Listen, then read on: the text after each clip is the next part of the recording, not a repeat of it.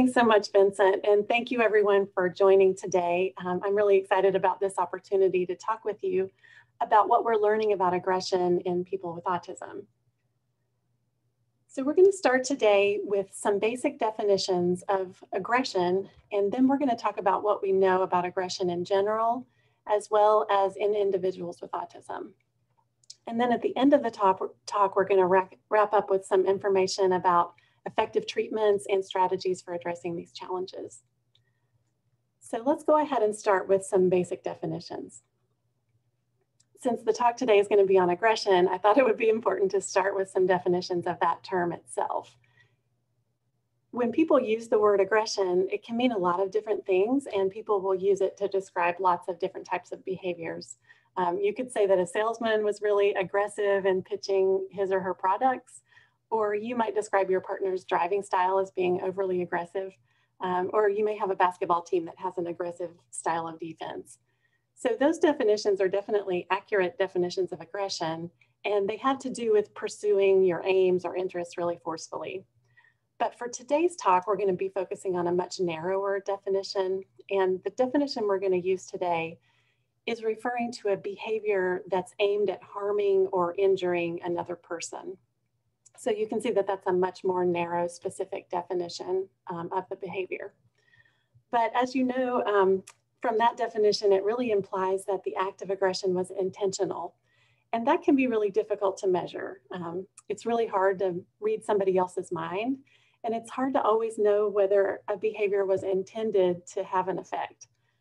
But in general, when we think about aggression, we think of it differently from an accident or from a behavior that was unintentional or maybe accidentally hurt someone else, like bumping into somebody or elbowing somebody by accident. So this is the definition that we're going to be using fairly loosely today. Um, I want to point out that aggression can be um, defined differently and can take on some different forms even within this definition.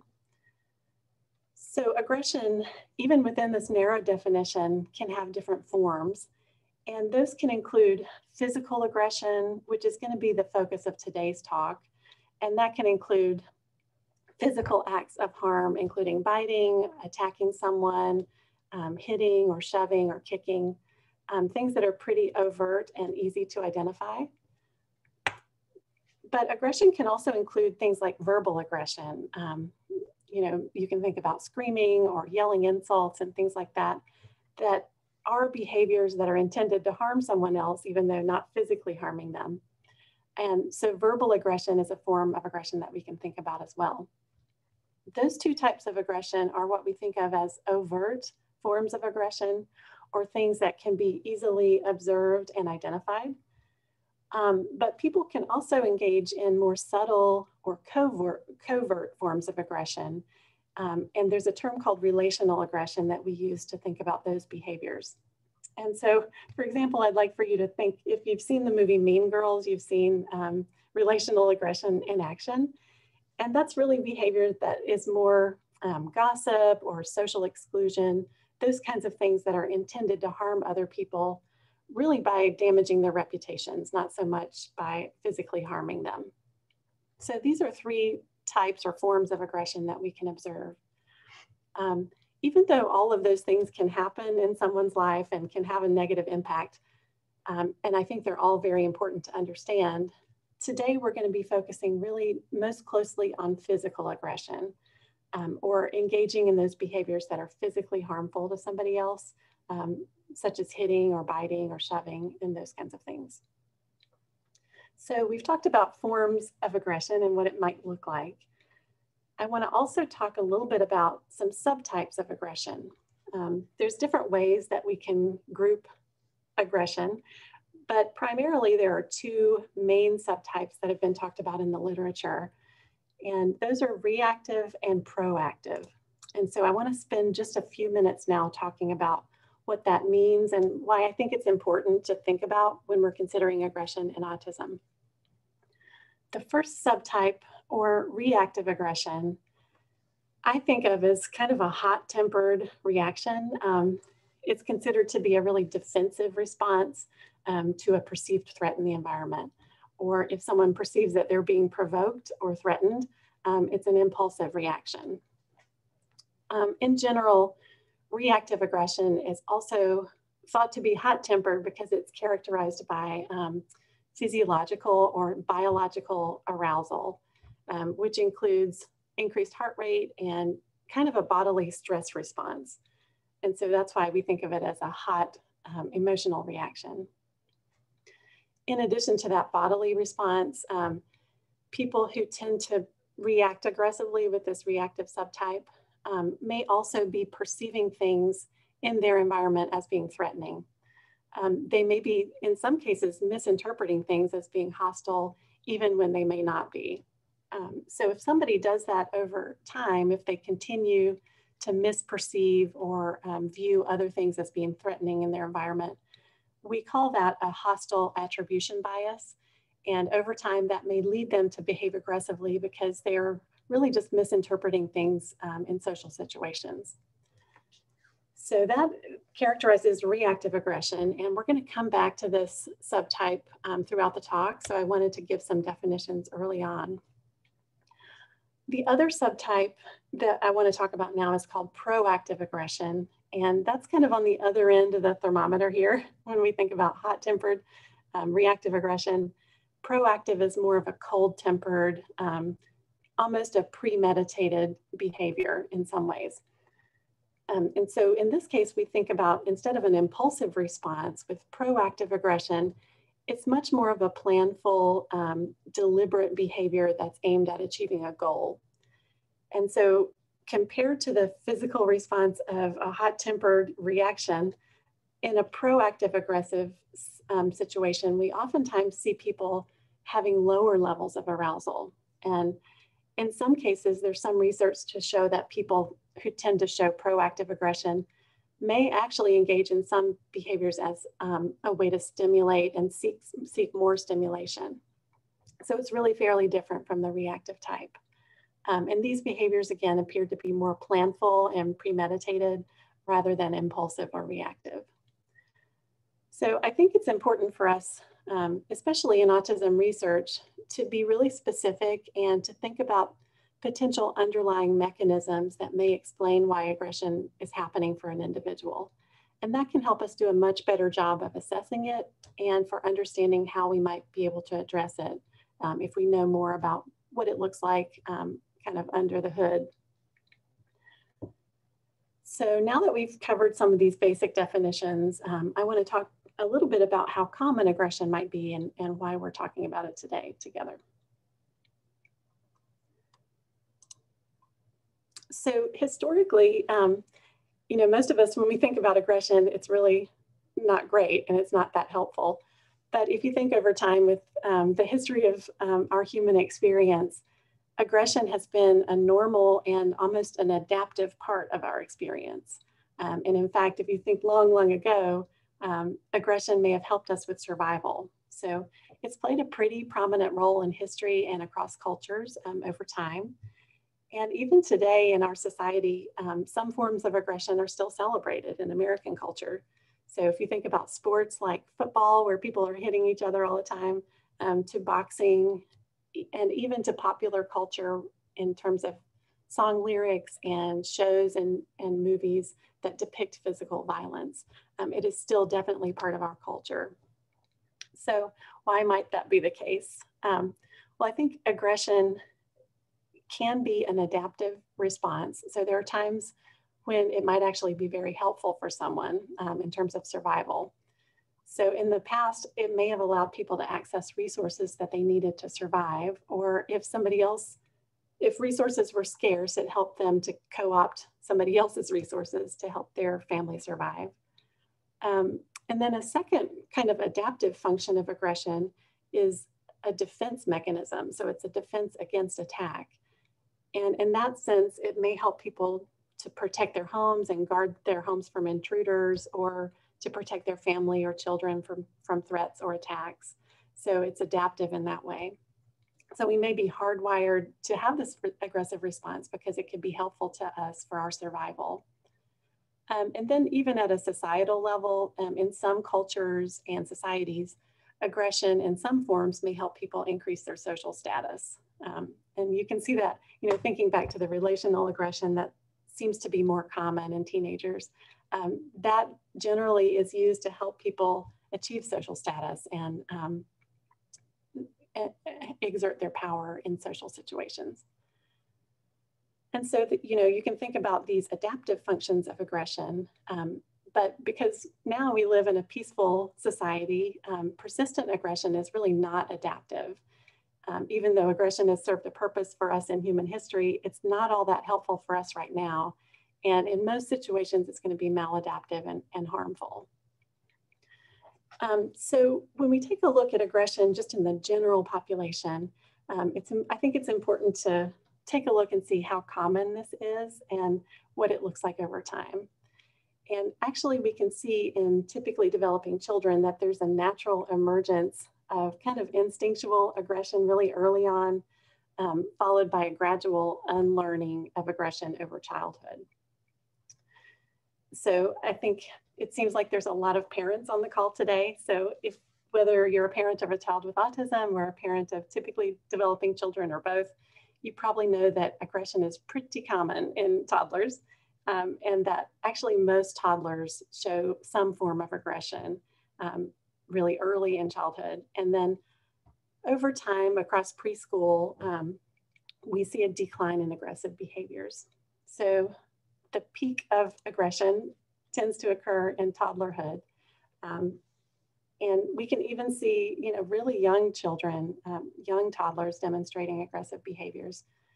Um, and then over time, as children learn to develop um, better communication skills and uh, an increased ability to self-regulate, um, and they start to be able to take the perspectives of other people to understand that their behavior is not being well received, they start to learn those self-regulation skills that help them um, decrease aggression. So I think my point here is just to say that um, it's kind of a typical part of development to show aggression, but we expect to see children learning to develop skills to help um, manage that over time typically. So I want to show a graph now of a, a large longitudinal study um, that was conducted on children um, starting at age two all the way up to age 11. And when you're looking at this graph, what I want you to pay attention to are the top lines, the solid lines, um, the circles are girls and the diamonds are boys. And the solid lines are occasional aggression. So that's like once in a while demonstrating aggressive behaviors.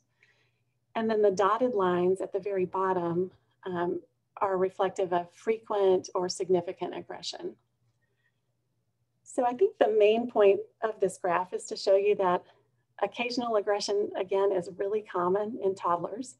So almost, you know, 40 to 50, close to 50% of two-year-olds are showing some aggression, uh, especially boys.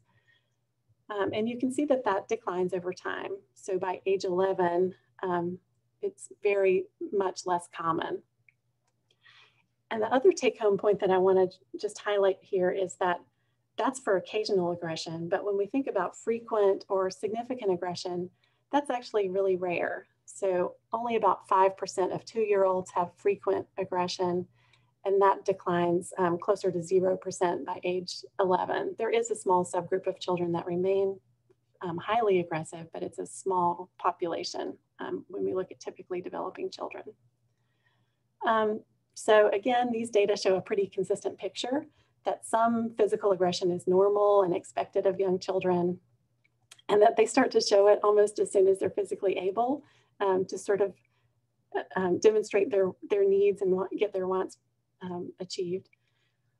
But that the behavior decreases in frequency over time. Um, and so this tells us that early childhood actually may be the best period for children to learn alternatives to their aggressive impulses. And that's the time when the brain is really at its peak flexibility for learning. Um, so that suggests that this is the time point, this early childhood time point is the optimal time for intervention for aggression um, because it's a good time point for, for building and learning other skills that can replace those aggressive behaviors um, things like language, um, cognitive development, and then social skills that are going to help children learn how to inhibit that instinctual aggressive response that they may have um, and demonstrate more pro-social behaviors.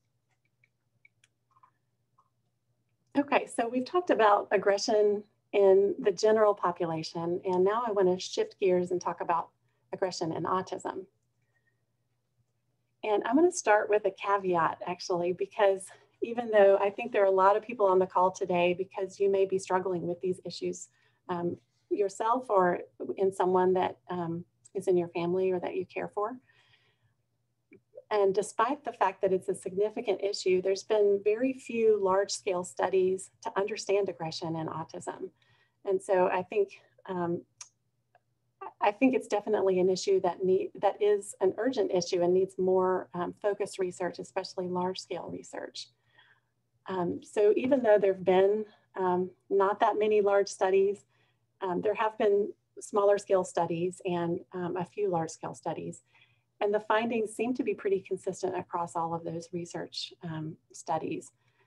And the main findings are that across ages, we're seeing that individuals, children and adults with autism seem to be at higher risk for aggression than the, the general population.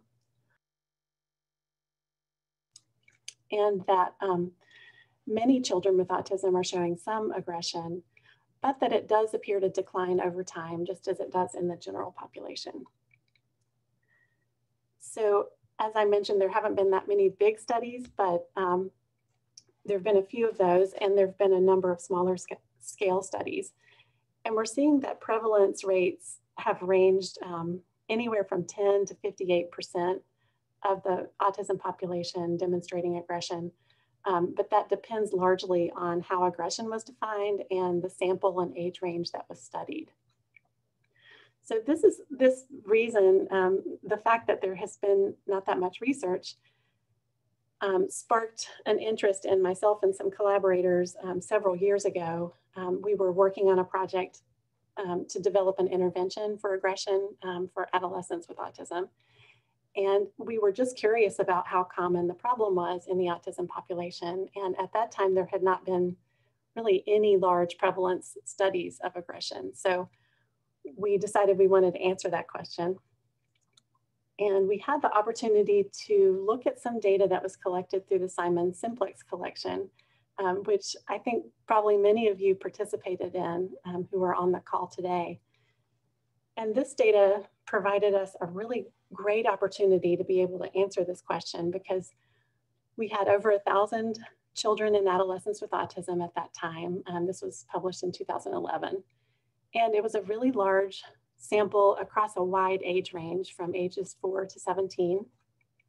And because the study collected lots of data, we were able to look at um, a lot of information about the children's functioning. So we knew a lot about their cognitive abilities, their communication skills, their families, um, as well as their behaviors.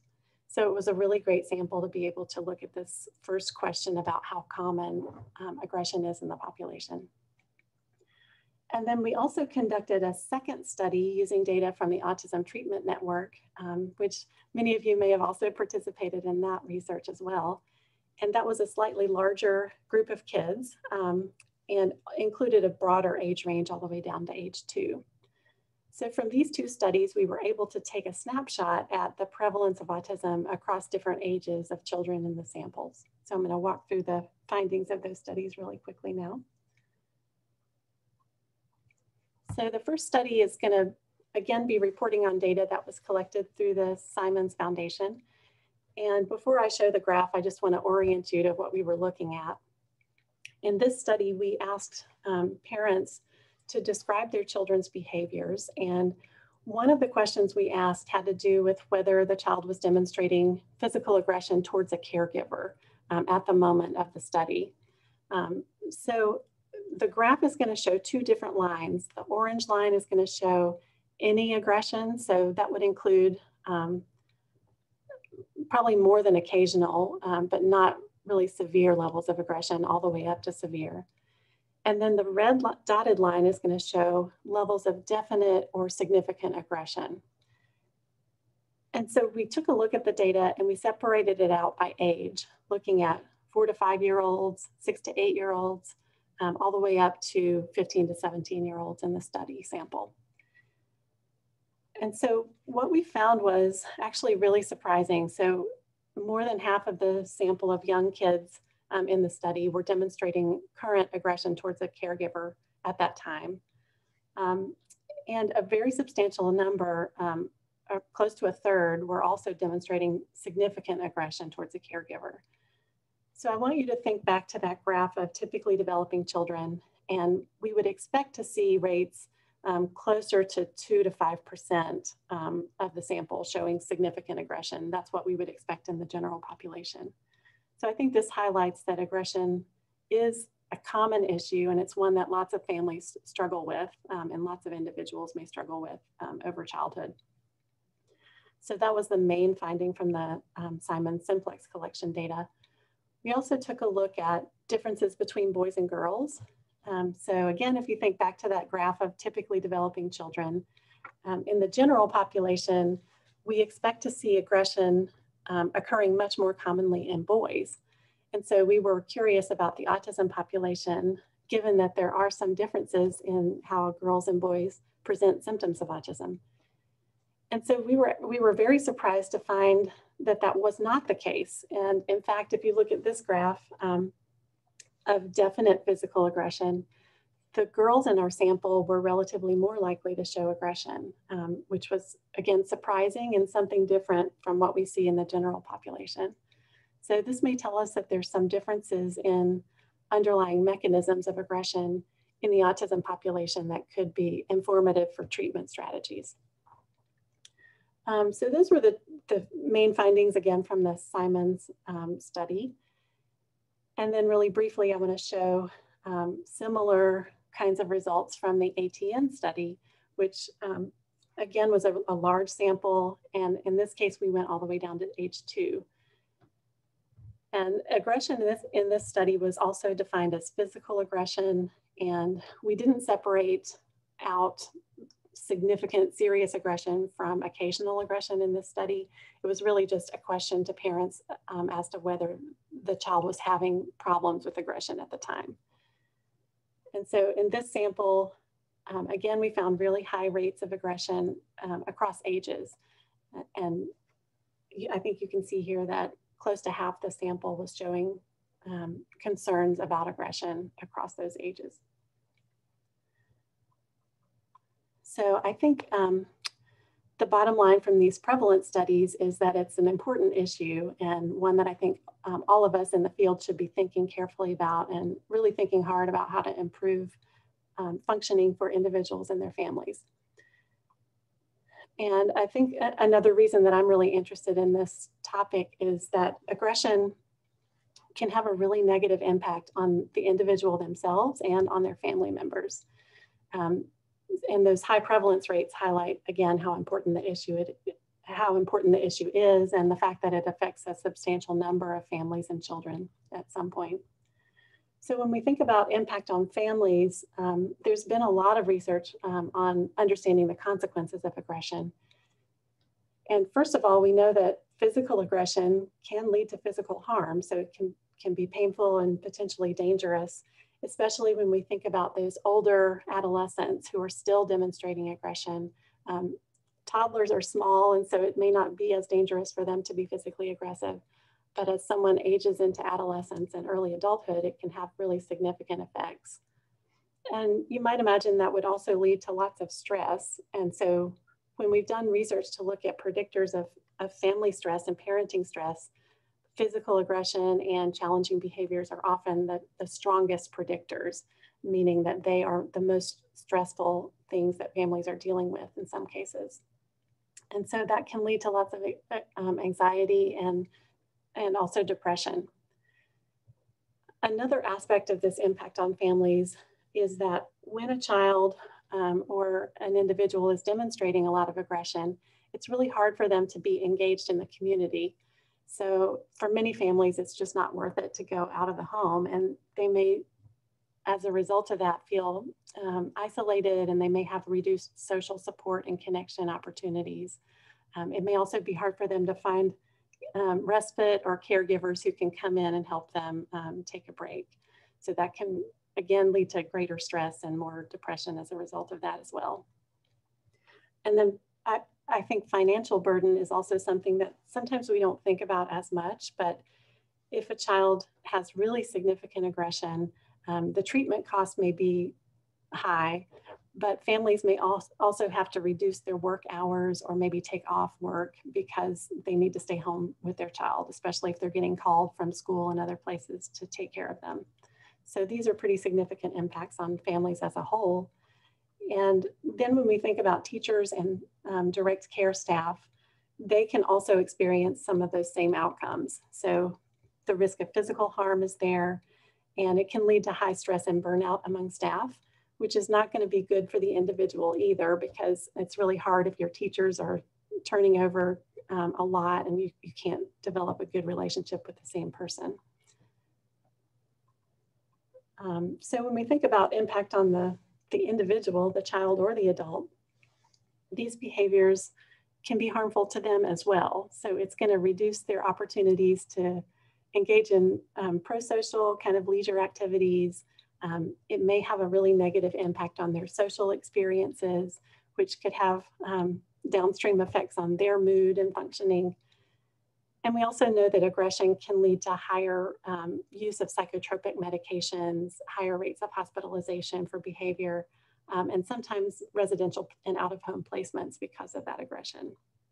So it's something that I think, again, we want to try to really focus on reducing these behaviors before they escalate and trying to get a handle on things um, to minimize these negative outcomes on people and on their families. So now that we've talked um, about definitions and prevalence and impact, I want to shift gears for the next few minutes and talk about what we know about the causes of aggression and some theories of aggression. And again, I'm going to start this with a caveat that even though aggression is a really significant issue for many children with autism and their families, um, there have been surprisingly few research studies to actually understand what is causing this at a me mechanistic level and what the underlying mechanisms might be. Um, on the other hand, aggression has been the focus of a lot of research in the general population um, for a number of years, and that's been done across both human and animal studies. And so we've got a lot of really great information from psychology research to neuroscience and um, medicine um, in general focused on aggression. So what I'd like to do for you now is to actually spend a bit of time touching on these primary theories from the general aggression um, research, and then we can think together about how they might apply or be helpful when we think about aggression and autism. So the first of these kinds of theories when we think about um, etiology and factors that might explain why aggression is occurring um, are actually biological. So we know that there are, um, from the general aggression research, there can be a genetic predisposition to aggression, and some genes have been linked to um, having a greater risk for um, aggression. So it doesn't mean if you have that genetic predisposition, you're always going to show aggression, but it means that you may be more likely to have that risk. And then the second biological factor that seems to be at play has to do with brain function. So we know from this general aggression research that um, some specific areas of the brain have been linked to aggressive behaviors. And two of the ones I want to talk about right now um, are brain regions that help us regulate emotions and behaviors. So the first of those is the amygdala, which you may have heard of some links between um, some findings in the autism research focused on the amygdala, but this is really thinking about how it may relate to aggression. Um, the amygdala is the part of the brain that helps us coordinate responses to things in our environment, and especially things that trigger an emotional response. So this is the brain structure that's going to play a really important role in both fear and anger. And it's activated in response to both positive and negative stimuli. Um, and it's especially activated in response to things that we see as threatening. So you can imagine how that might play a role in aggression. And this brain region is considered to be kind of an old part of the brain and it has connections to lots and lots of other body systems and brain systems related to emotions, um, including the sympathetic nervous system, which kind of makes up our fight or flight response. Um, it also has connections to things like facial expressions and to the release of neurotransmitters or brain chemicals related to stress and aggression. And the amygdala is also connected to lots of other regions of the brain. Um, so when it actually stimu stimulates another area called the hypothalamus, um, it initiates this fight or flight response that I talked about. And that's gonna send a signal to produce hormones like adrenal, adrenaline and cortisol, which helps get your body prepared for fight or flight. And so I think we've all experienced this rush of emotions and rush of adrenaline when things have been threatening to us.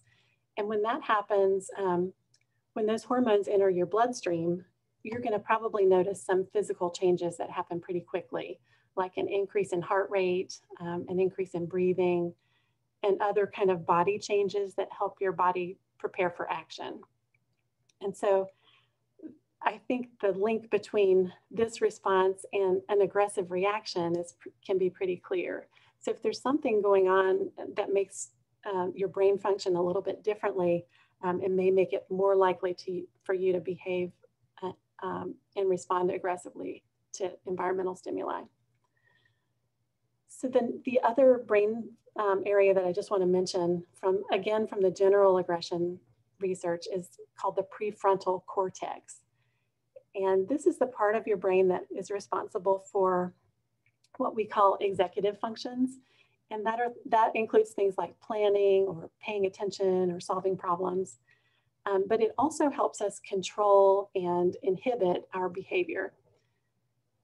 And so this relates to aggression because um, we're finding that this neural connection between the amygdala and the prefrontal cortex is kind of a control center for aggression. And so when this connection is more activated, um, we are better able to control our aggressive impulses. Um, so I think these two brain regions are really important to think about with aggression. And interestingly, um, like I mentioned before, the research in autism has found some differences in, in both of these brain regions in people with autism, which may help explain why they may be um, at increased risk for aggressive responses at a biological level.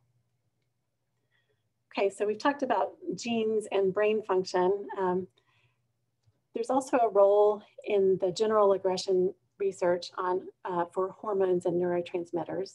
So for example, um, really high levels of testosterone have been linked to aggression, which may be why we see um, boys being at higher risk for aggression than girls. And then on the other side of the coin, serotonin, or what we think of as the feel good neurotransmitter, um, actually inhibits aggression. And so we found some evidence for low levels of serotonin being linked to greater reactive aggression. So these are some of the basic kind of biological mechanisms we think about in aggression, both in human and animal studies. And then um, moving up a little bit, still focused on biology, but um, a little bit higher level, we know that there are some physiological factors that can play a role as well. And so those are going to be things like um, physiological arousal. Um, when we talked about the fight or flight response, that relates to that. So we know that when people have increased heart rate and blood pressure, they may be more likely to behave aggressively, especially the reactive aggressive type. Um, and we can also uh, find a link between physical discomfort and aggressive response.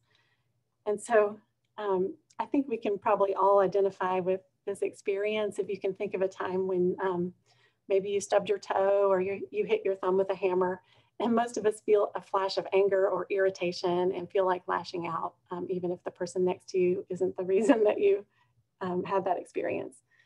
And so this is also um, the case for things like heat or being in pain or being in crowded situations um, or having other kind of aversive stimuli, it can trigger an aggressive response. And so in experimental studies in psychology, when people are exposed to painful or unpleasant things, um, like having your hand submerged in ice cold water, um, those participants in those studies are more likely to behave aggressively towards other people, um, even innocent bystanders. So it's really showing this link between aversive, unpleasant um, sensations and aggression. Um, and we've also found in places where the temperature is hotter, we see higher rates of aggressive crimes um, and other kind of environmental irritants like bad odors or air pollution have also been linked to aggression. So um, you can see how this, these factors may actually apply pretty closely for people with autism who may be especially sensitive to sensory input. So it could be that um, they may be more likely to experience physical discomfort in situations that may not be uncomfortable for other people. And then it may have a resulting effect on their arousal and their ability to um, calm themselves back down. So um, we've talked now about biological theories of aggression from the general literature. Um, there are also some or behavioral theories that I think are really important to think about as well. And the first of those is um, the behavioral principle of operant learning, um, which dates back to the early work of B.F. Skinner from the 1950s. Um, and this theory really holds that behaviors are maintained or are a function of the consequences that follow them. And it's actually the basis for most of our effective behavioral treatment strategies that we use today and the basis of ABA treatment strategies. So this is a really important psychological theory that's been applied to um, interventions that um, are very effective. Additional theories um, just from the general aggression literature that I think are helpful to think about are um, observational learning or social learning, um, which has the idea that we can learn to behave aggressively just by watching other people. And so there were some early studies by Bandura from the 1970s where children were observing someone else act aggressively toward a doll, and then um, they learned to do that just by watching and imitating. Um, and then more recent theories from the psychology literature have focused on um, social thinking or information processing. And so within this model, um, aggression may be the result of how you're interpreting information. Um, so if you think back to talking about reactive aggression and the fact that some people may perceive things as being hostile or threatening, um, that may be the result of how they're perceiving social information. And over time, they may be, begin to show um, scripts or ways of thinking that guide their behavior in a more aggressive way.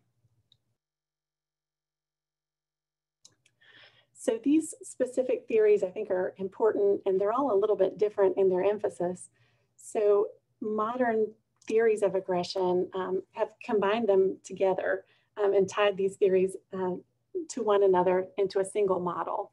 And so this can be thought of as a general aggression model or a meta theory. And I kind of like this model because I think visually it helps us to see um, how all of these factors may relate to one another and may interact with one another over time for a person. So you can see here at the top, um, there are personal variables that may play a role. And those may include the things we just talked about, like genetic predisposition, brain function, um, hormones and neurotransmitters, um, but also situational variables. So that would include things like sensory stimuli in the environment or being provoked by somebody else or being frustrated. Um, it could also include the social context. So if somebody is in an environment where aggression is happening a lot um, and they're exposed to violence, that's going to be a situational variable that may affect their behavior. So these two things together are going to affect um, this middle box here that includes um, thoughts, feelings, and sort of physical arousal. And, and within this model, um, you can think about the ideas of how you're interpreting a situation um, is going to change how you feel about it, and it may also affect your physiological arousal. And so it's sort of a feedback loop. And I think this is helpful from a treatment perspective because it means that we might be able to target any one of those variables and make an impact on aggression.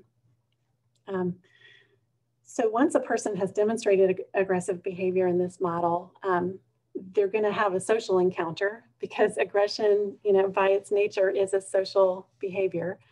Um, and in that encounter, they may be reinforced for their aggression. So it may result in something positive for them. So that's going to affect their learning and they may be more likely to demonstrate aggression in the future. Um, or the encounter may be negative. So they may um, have a negative consequence for their behavior or they may not have access to what they wanted. And so that will then feed back into that loop um, and make it more or less likely for aggression to occur in the future. Um, so again, I think this meta theory, even though it's not specific to autism, it can be pretty helpful when we think about treatment strategies. Um, for example, if a person has a biological pre predisposition to um, having trouble regulating their arousal, we might be able to target that specific factor within the model. And we might be able to help them learn um, strategies to relax or to de escalate their arousal. Um, that can be done through behavioral strategies, or there could be a medication that could help with that as well. And so, if somebody has an improved regulation, that might give us just the window of time we need to help them calm down um, before their anger escalates and they start to show aggression. Um, on the other hand, if the cognition is the main driver here, and the person tends to just misinterpret things as being hostile towards them, we might be able to help them change the ways that they're thinking. Um, that's going to lead them to greater emotional control. So there's a couple of ways that we might be able to target that. Um, and then finally, we can also think about things in the environment that may make it more or less likely for aggression to be triggered. So if we think about the situational or social encounter variables, um, we can change how we respond to aggression to make it less likely to occur. And so those are going to be more behavioral or ABA types of strategies that we could use. So um, now that we've looked at this complex model, I want to talk a little bit now about what we know in autism. So again, this was a general model that I think can apply to autism. Um, and I want to share a few results from studies that have been done in the autism population. Um, so the first thing that I want to talk about are some studies that have looked at factors that place people at greater risk for aggression um, in the autism population. And so these are results from some of the studies that we've done um, that my collaborators and I have worked on over the past few years. And consistently, the results of those studies have shown that aggression is really highly related to um, both self-injurious behavior or harming yourself and repetitive behaviors. Um, so for people who have really intense repetitive behaviors like stereotyped movements um, or rituals, um, they may be showing a greater tendency to aggression. And then also for children who need to have things done exactly the same way or want to do things in a ritualized way, um, if those rituals are interrupted, it may lead to agitation and aggression as well.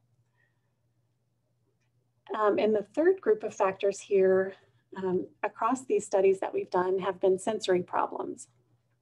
And so I think that is consistent with what we talked about just a few minutes ago when we think about how um, sensory stimuli that are experienced as aversive um, are really strongly linked to aggression um, in both humans and animals. And so if children or adults on the spectrum have just a lot of aversive sensory input and they're really over um, responsive to that, uh, that may be a trigger for aggression for them. So it may be an, an area that we want to really help them um, to deal with.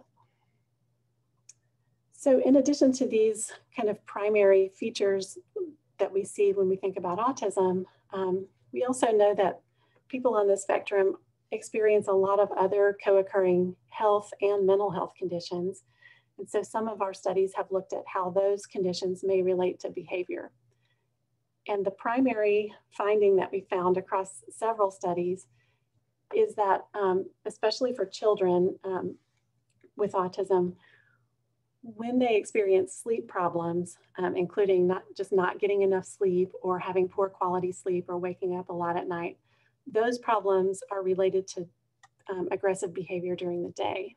Um, and I think, you know, for most of us, if we don't sleep well at night, we feel pretty irritated and it's hard to regulate your behavior.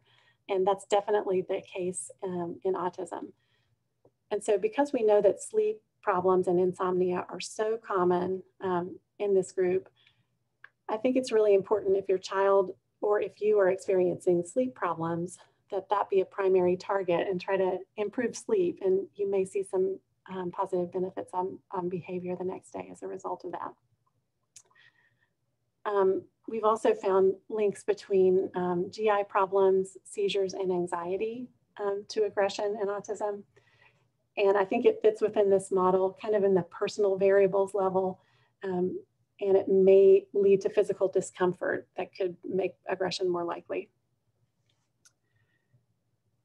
Um, and then finally, we've also found that when we think about those two types of aggression, reactive and proactive, that in our studies of autism, we seem to see a much greater likelihood of this impulsive reactive subtype.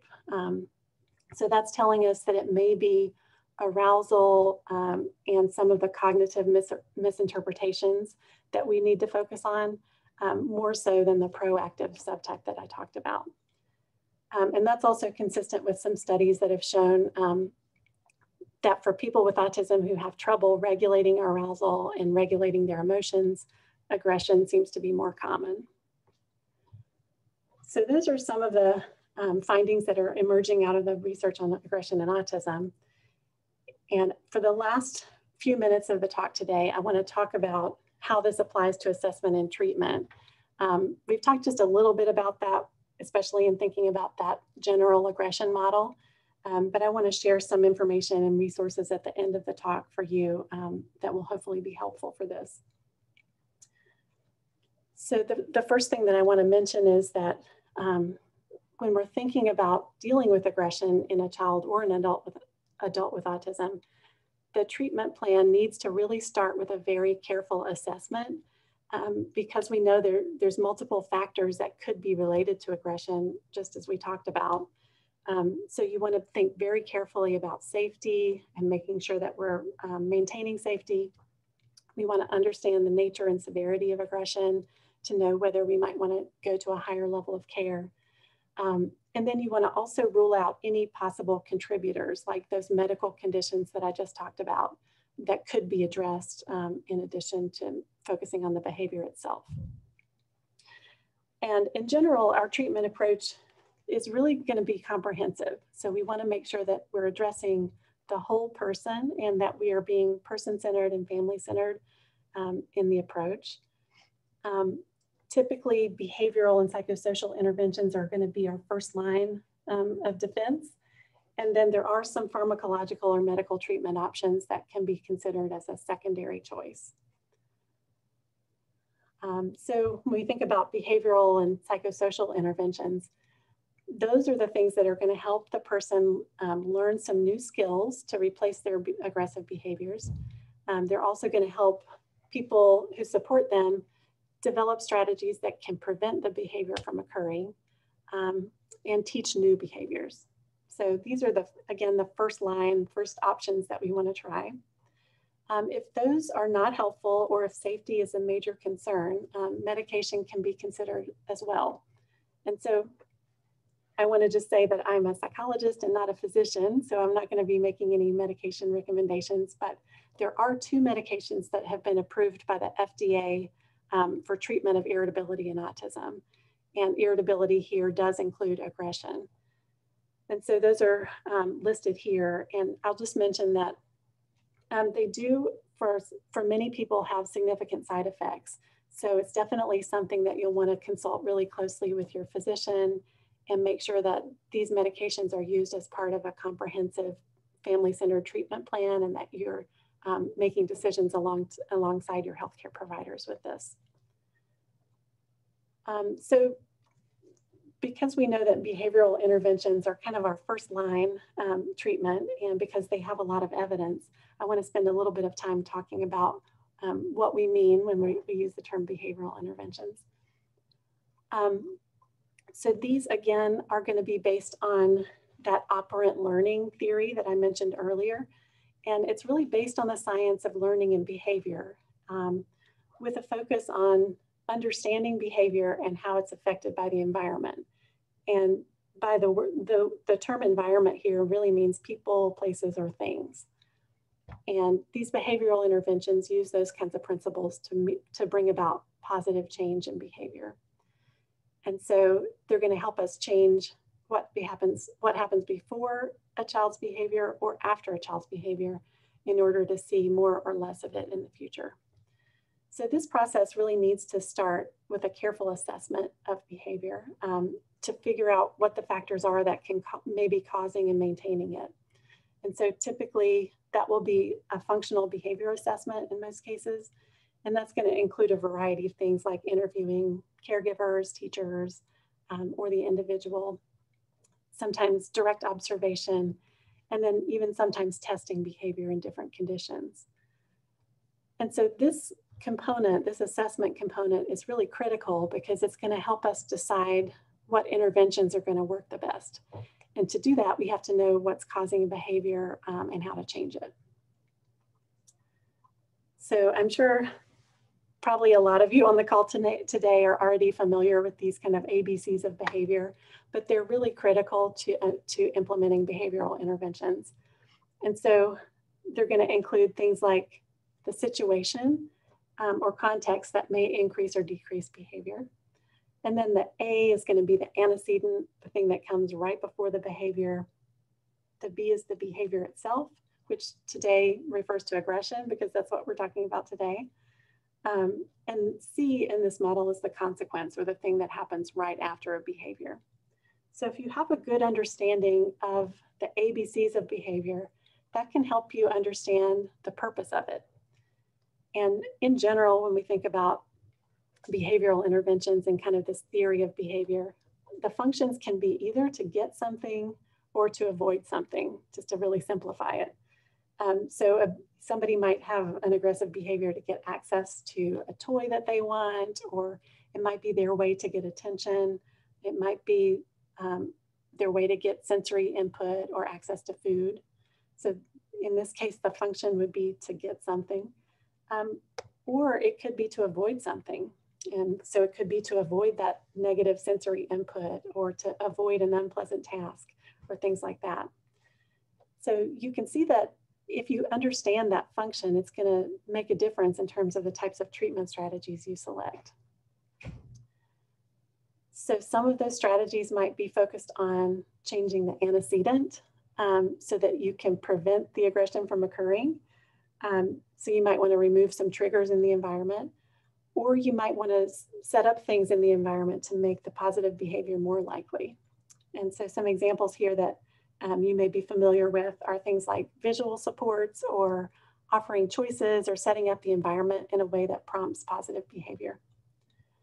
And then on the other side, you may want to use a, a, consequence to help promote a more positive behavior and kind of remove that consequence from the aggressive behavior. And so in this case, we're going to really try to reinforce positive replacement behaviors um, or potentially teach communication skills if the child needs to have more adaptive ways to ask for help or to ask for access um, to something that they want. So these are very effective strategies um, that focus again on those behavioral principles. Um, I want to just quickly wrap up with some, just mentioning some other intervention approaches that are emerging and have some uh, promising evidence. Um, one is parent training and parent implemented strategies um, that focus on behavior. There's a growing um, evidence base that parents can do a great job of being coached to deliver these behavioral interventions in the natural environment. And that's actually great because it really helps access um, to the interventions and it helps to generalize skills that kids are learning. Um, there's also some good evidence emerging now focused on the cognitive aspect. If you think back to this little diagram here, um, that CBT or cognitive behavioral therapy can help te teach people um, to change their thoughts and behaviors that make it less likely for them to be angry um, and help them to um, regulate their own emotions. Um, and then I'll just mention quickly that we have some, some research on this multi-systemic therapy model, which is a much more comprehensive and an intensive family-based um, therapy approach for, for aggression. Um, we've published a couple of papers on this approach for people with autism, but a lot more research needs to be done in autism specifically, even though it's an effective approach in the general population. Um, I'm looking at the time and realizing that we're getting close to being out of time, and I want to end with sharing some resources that I think could be helpful, including some previous Spark webinars that have focused on really practical strategies for addressing challenging behaviors. Um, I'd also like to mention that our Autism Drive resource directory, um, which is linked here, has a number of both videos and online resources focused on challenging behaviors. Um, and then I've listed some other um, options here. So Vincent, I'm going to turn it back over to you. I'm sorry I took a little bit longer than I planned. Uh, no worries, no worries. Thank you so much for doing this.